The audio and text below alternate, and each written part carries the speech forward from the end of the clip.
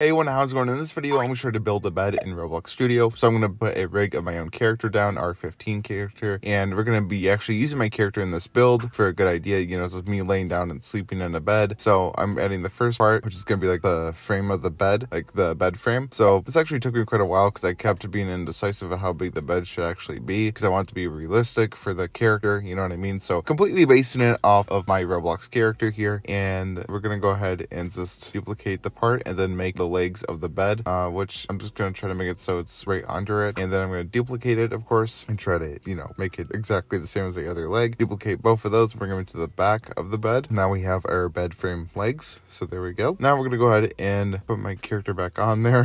this is used as a reference. I'm going to constantly keep doing that. Uh, I'm going to go ahead and add the mattress now, which is duplicating the base part of it. And then the mattress, I think it should be slightly bigger than the, you know, the bed frame base. So I'm to make the frame wood and brown. Just give it a wooden design so that this be like, you know, the right way to do it. And then I'm to add a pillow so I can rest my head on something. And I'll just make gray, I think, similar to my pillow in real life. So kind of like a gray pillow. And now I think maybe time to add the blanket in a second here, but we're to position the pillow a bit different. Like I've already been sleeping, just adjusted the pillow and everything. Now I'm to try to tilt my character so the blanket's kind of like coming over it on an angle too, if that makes sense. I'm to move my whole head here, my whole character's head, uh, just trying to make it look better. Now I'm to add the blanket, I'm to have that come in and come down. And then, like I said, to be slanted, angled like my character is. And actually, I, am kind of liking where this is going because I've only made a bed in Roblox Studio a couple times. So I actually really like the way this turned out, by the way. But anyways, I'm to add like a, you know, top cover part that's like rolled up kind of, if you get the idea of that. Just a bit darker. Uh, and then I just added a fabric material to it. I'm gonna go ahead and adjust the pillow a little bit because I realize it's a little too big and it's actually kind of taking up some of my head and doesn't look realistic. So gotta make it look better. And then I'm going to go ahead and add more of the blanket so it's kind of like draping over the bed if you get that idea. This is coming over like that. So that way it doesn't look like I'm tucked in, doesn't look like I'm in a sleeping bag. And then I'm going to add more of that outline near the top where it looks like it's rolled up a little bit.